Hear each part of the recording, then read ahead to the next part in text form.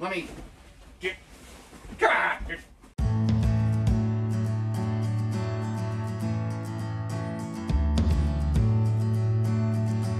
Hey everybody, Josh RV Nerd here with Bish's RV, taking a look at the Northwood Nash 18, 19, FM, something like that. I believe this is the smallest, shortest of these, yet it still rides on a tandem axle with a suspension package that's going to make for some easy towing. Now, people sometimes ask, hey Josh, what do the letters stand for in that?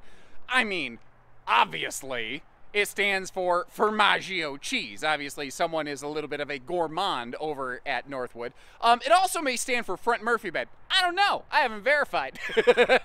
but um, this is actually, when I first saw it on paper, I was like, huh, that's a little unique. And then I realized this is very similar to a Rockwood 2104S, a mini light that uh, I'll leave you a link for it in the video description if you want to see uh, something kind of in the same vein, or Flagstaff calls it a 21DS. And there's some other people who make something like that. But the idea behind this is to give you 10 pounds of sugar in a five pound sack. Now, that being said, this has over 5,900 pounds of sugar in this sack because if there's one thing Northwood does not do well, it is build light because they build thick, they build heavy, they build long lasting. That is what I've really come to find and respect from this brand right here. And it, very little of it really translates well to camera. I know that I've seen pictures of these and I'm like, why is everybody so gaga over how these things are built? And then I got to see them in person, put my hands on them, and I just immediately went, oh, there's there's another layer to this equation here that I just wasn't well experienced with. And I'm, I, I love that I get a chance to bring all this new stuff to our channel. So what we got here is a front fold down Murphy bed, a big True U dinette slide, a direct facing entertainment center from the slide out. So from the sofa, it's not the best position ever, but I don't know. That just kind of seems to be what Northwood does. They, they, they don't focus on the TV first. They focus on the build, and they're very good about maximizing storage all over the place. Also, this little camper's generator prepped. This is something you want to just get away from everything and stay safe from the zombie apocalypse. She's rated. So just to help you get your bearings in here, I'm currently sitting in the dinette. So from the dinette seating, this is kind of what you see over here. There's a lot about this RV I like, and there's a lot I think some people will not like. And it's important to remember, this is this is not something that is designed with like mainstream appeal. This is really designed for some very specific purposes. But first, just to give you a look at the entertainment center, the door side window coverage is decent. But speaking of windows, let's be totally clear about this because the entry door is not a totally clear window, although that's not a hard swap out. The big window over here in the slide does open for airflow. The forward-facing window does not. And here in a Nash, they use the pleated shades. In the Arctic Fox series, they actually use roller shades. So there's a little bit of a difference there. Um, I think until recently, Arctic Fox itself actually used pleated shades and has recently upgraded to uh, what we're seeing here. Anyway, um, the uh, thing I want to show you here, first and foremost, is the way the Murphy bed works. So let me just kind of finish giving you a look at the living room.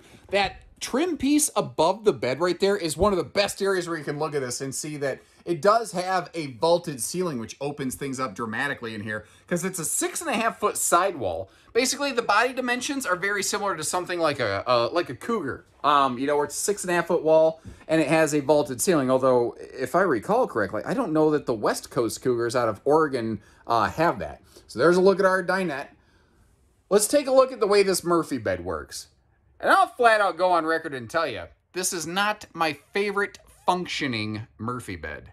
But I will tell you, whether it's the dinette or the sofa, they are definitely using a lot better grade of like foam, of thickness, of just something, because their seating is always better in here. But anyway, this is what I call a bendy bed. I like to show you how these work, and I've never had a chance to touch a Northwood Murphy bed before. At first, I thought it was a jackknife sofa. I'm like trying to rip it off the base here, but it's apparently built stronger than my chicken arms can handle. It's a rollover sofa. I don't know that that's any better. It's just different. Then there's uh, U-latches up top here, one on each side, and you'll see that this is gas strutted. Now you notice how the mattress does not come down with it, but check this out. Like, the struts on this are no joke. You don't have to heave, ho, here we go, uh, putting the bed away, you know, singing a little pirate tune with it. You do have to drop the mattress down, but you notice it, you have to actually slide it forward, and then you have to flip that up, and then you have to finish making the bed.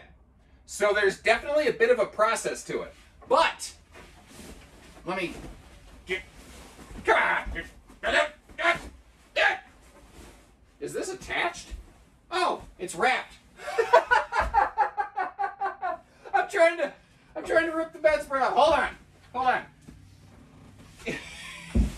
this is not going well. Here's what I was trying to show you. It is a bendy bed. It's not the wafer backbreaker of death like you normally find in so many RVs. That's a thick chunk of foam right there. Now, the question is, is it the right thickness? Is it the right firmness for you? That I don't know. But I do feel that even though it's a bendy bed, it's one of the highest quality bendy beds I've ever seen. So there's that. and you may have noticed I flipped into a super wide angle fisheye lens mode right there. Unfortunately, the layout of this camper, there just wasn't a good spot where I could I could do all that and be in front of the camera, and uh, it's just something I had to do. Sorry, I just I just don't like that. It feels very deceptive to me uh, using wide angle lenses in that fashion um, all the time. Anyway, big. This is what I'm going to call a true U dinette. You see how there is a household outlet down there in case you want to plug something or rather it. You know what would go good right there? My wife has a love affair with a heating pad for her lower back. That wouldn't be a bad spot for her, although there's household outlets by the sofa, which would probably be far more uh, comfortable. And look at this. They put an extra large pantry in that slide out. Plus, next to the fridge, you have a similarly sized, very good size, maybe not quite as big, but good sized pantry. And they did that because the way that they set up the entertainment center is you lose the overhead cabinet space here, but all you've really done is just move it because you know if the entertainment center was over there, they you would have had to give something else up. I suppose you could maybe put the entertainment center next to the microwave, but I don't know. That seems weird. That being said, from the sofa over here, which is where we're at right now, wouldn't be that bad. Something I want to show you is whether it's in the bathroom, in the living room, anywhere on a Northwood, you get the fan, you get the bigger vent fan up there. 15,000 BTU uh, air conditioner is an available option, and we'll see who's been paying attention. Why is the solar battery controller blinking over here? But remember when I said the TV viewing from the bed isn't great? And remember when I said where the TV is, you lose storage? I kind of tricked you because the TV is a storage door, and the way that it pivots out gives you easy visibility from the sofa if that is what you like. I figured this could be, see, this is sort of the kind of fun surprises that I find. And this is the stuff where like I get really excited about different things in RVs. It's because I got to see stuff like this myself. I sort of wanted you to have a little bit of that reveal, you know? If I'm being picky, two things down here. I prefer, I, would like this to be some wastebasket space, and I really don't like seeing that level of exposed plumbing. I know there's nothing wrong with it. It just doesn't look pretty, you know. Bigger 22-inch oven, by the way. Side splash to keep the grease at bay, which is wonderful. And by the way, that Zamp solar controller that we looked at, uh, that can handle up to 510 watts of solar. So I think you can throw like three of their bigger panels up there, like their 170 watt, 5 watt panels, and um, that's, you know, that'll pretty much be maxing that controller package out right there. Um, the, the dinette, by the way, there's drawers in here on full ball bearing glides, which is great. The back side of the bench, though, there is storage available from the outside. But look at what is going on, like, around the whole Murphy bed over here. So you might notice that is a full drawer. It must have slid shut.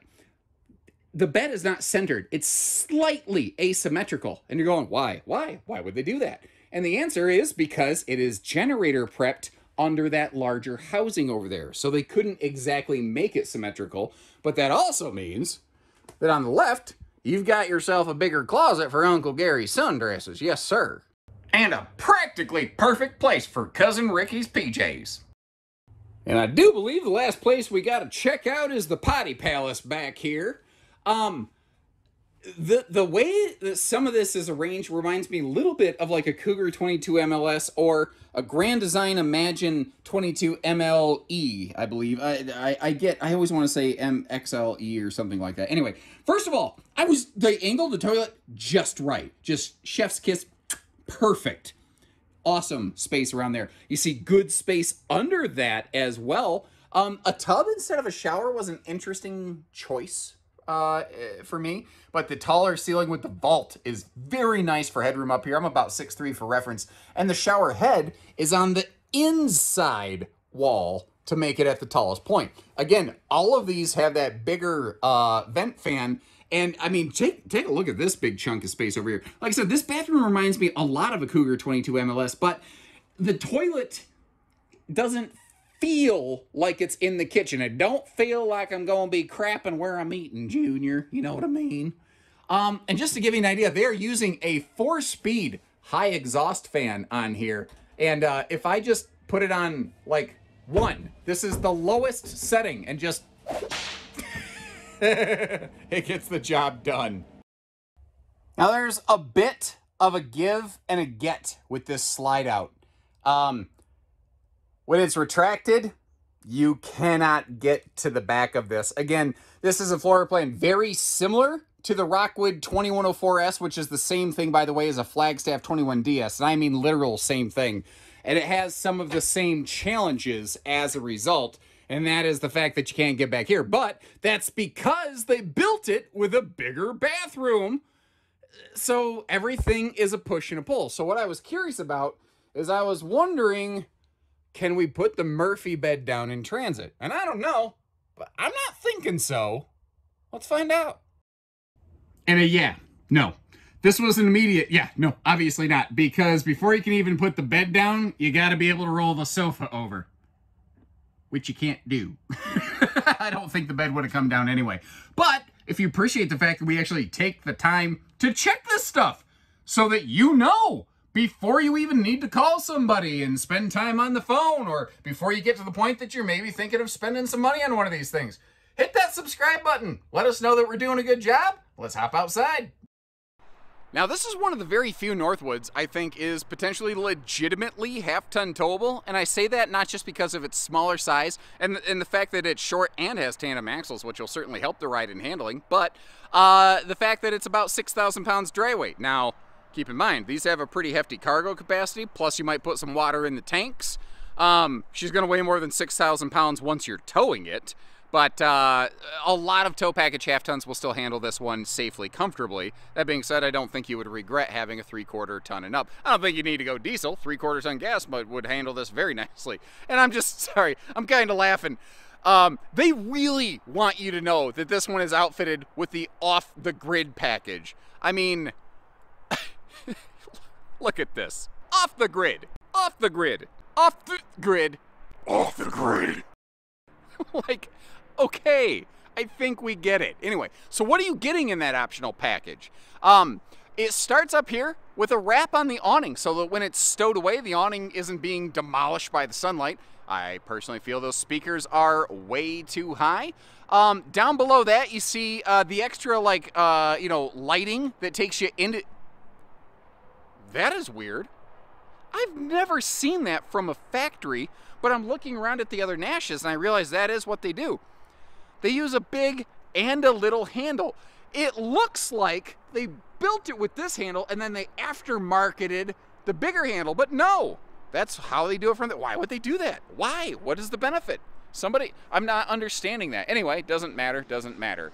Um, the water heater, they're using a larger 10 gallon vessel on this, which is very uncommon. Off the grid package, in case you weren't aware, this is equipped with the off the grid, off the grid, off the grid package. Gives us the knobby tires. Also, you see the little more uh, aggressive shock dampener there uh, between the uh, axles. Now, I've noticed Northwood doesn't seem to do a lot of stable steps here on these Nashes. I don't know if there's a specific reason why, other than sometimes stable steps, like you see those uh, over there on those Cherokee uh, Alpha Wolves, if you are off the grid, well, sometimes you're on some wacky uneven ground, and those steps don't always want to meet up with the ground too awful nicely. So maybe these steps are a little more conducive to that. I am a Midwestern park camper nerd. If uh, if that is right, wrong, or otherwise, please let me know in the comments section, please, please, please. Now, Murphy beds usually don't have good outside storage. That's a nice chunk of space right there, but notice it's not a full pass-through. It's because it's gen prep on the other side. Uh, now, the off-the-grid package is also giving us those larger 40-pound propane tanks up front and the little cargo rack above that. Um, you know, I'm kind of, I'm noticing that. Another really cool thing about this, like I looked at this and I went, why is the power tongue jack head so high? And I realized it's, it's the head's not high, it's a long shank tongue jack, so this can more easily hitch up to trucks with a lift package. That's brilliant! And that's the kind of stuff I don't see in the mainstream marketplace back in my Midwestern home every day. Uh, you know, this is why I love seeing all these different things. These regional kind of campers like this, you learn and see and experience. Uh, there's just a different way of doing it. You know, there's a different culture out there. It's very exciting. Um, the uh, RV has a basic battery solar tender standard. You can always slap on a portable panel like you see right here, and on the roof you're going to see the off-the-grid package gives us a much larger panel to go with it. Every Nash, by the way, is prepped for an onboard generator, and you have the option of slapping on a, uh, I think it's a 3600 watt generator from the factory in that compartment, or obviously we could get you one here. Like if you're looking at this camper or one like it and doesn't have a generator, eh, we could take care of that. Very similar. I, I, mentioned in a lot of ways, this is similar to those Rockwoods and Flagstaffs, or Rock Stavs, as I think I'm going to call them from now on, um, with the slide face storage. But look what they did behind the pantry. Not just the cool under the dinette space, which is awesome. I love that they gave us easy access to that. And I love that they gave us easy access to this. But the shelving is just a whole nother level of thought and consideration. Eh, it's just it's all the little details. Now, take a look at this. This is a Schwintek slide out. Schwintek slides are fine, except they don't do very well when heavy weights are involved. So you notice how they added a third set of gears to that, basically to, you know, be able to provide the kind of uh, function and reliability that you're going to want. And I feel pretty confidently if there's something that we can just kind of take at face value from Northwood at this point, it is function and reliability. And this is the weirdest thing. I've never seen this ever in my life. The converter panel is outside on this RV. But I watch a lot of videos where sometimes that's hidden behind a slide, and that's stupid. Because what if you blow a fuse and the slide is retracted and the box is covered by the slide? You have to manually override that slide, which sucks. I've done it. I've done it on any type of slide that's out there, I've practiced on it at least once. None of them are fun or easy. So the fact that they put this out here, because there was no good space apparently inside to put it, I have a lot of respect for. Something else I think is kind of cool is they show you there's a little switch on here. Flip it one way if you got a lithium battery on it. Flip it the other way if you got a lead acid battery on it. You don't have to be an electrician, which is awful nice. A couple other little odds and ends here. Black tank flush kind of between the rungs of that ladder. Hidden by the tire a little bit is our accessory hitch on the back there.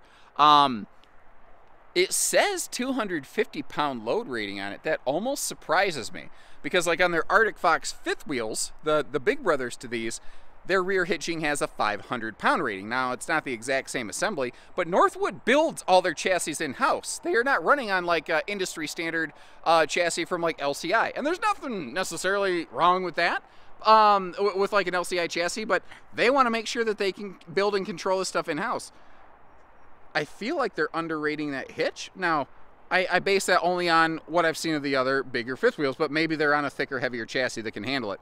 Got a little gas grill quick connect coming off the side of this little girl too. Of course, all LED tail and marker lights. And I don't know if you noticed, but it also does have reverse travel lighting, which is uh, kind of cool. And with the off-the-grid package, I realize I'm talking about the back of the RV and I'm standing on the side. Stand by. As I was saying, with the off-the-grid package, we gain the benefit of an additional like light bar back here. One of those, it almost looks like the kind of lights that you'd add to your, your vehicle, you know, when you're doing the off-roading. And man, I gotta tell you, uh, I wish I had this view in southern Michigan.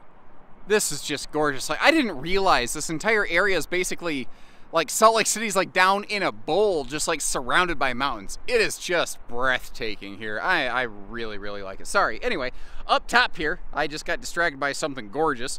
We've got the standard factory 45 watt battery tender, but with the off the grid package, you also upgrade and get an additional 175 watts off that big panel there.